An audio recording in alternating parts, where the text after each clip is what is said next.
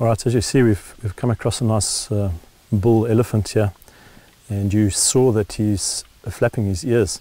Now, a lot of people believe that the flapping of the ears is, is he's angry and he's aggressive. And, but one of the main reasons for the flapping of the ears of the, of the African elephant is for cooling.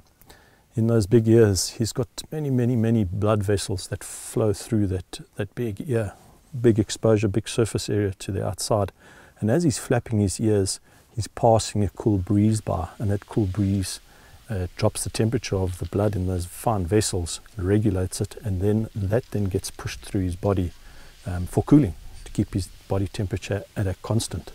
And if he's too hot, he'll be excessively flapping his ears, trying to get that wind to flow past and cooling the blood vessels down. They do show signs of um, a change of behavior with their ears. If you watch these animals and they, they become aware or alert, they'll stop the flapping of the ears and they normally raise it just above the shoulders and they'll listen carefully to hear.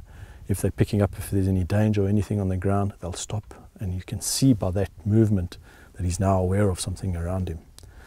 When they are showing aggressive nature towards whether it's a vehicle or a human or a predator or danger, they also raise their ears forward, bring it forward, raise it above their shoulders and make them look bigger than what they are and confront the danger head on with these big ears.